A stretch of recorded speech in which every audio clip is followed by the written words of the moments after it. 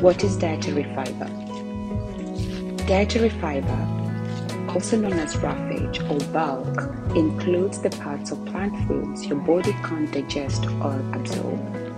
Unlike other food components which your body breaks down and absorbs, fiber isn't digested by your body. Instead, it passes relatively intact through your stomach, small intestine, and colon and out of your body. Fiber is commonly classified into soluble, insoluble, and prebiotic fiber. Soluble fibers collect metabolic waste products and exogenous chemicals so they can't be eliminated from the body. When soluble fiber is lacking, waste products get absorbed in the intestines and recirculated through the body. Insoluble fibers absorb fluids and are bulk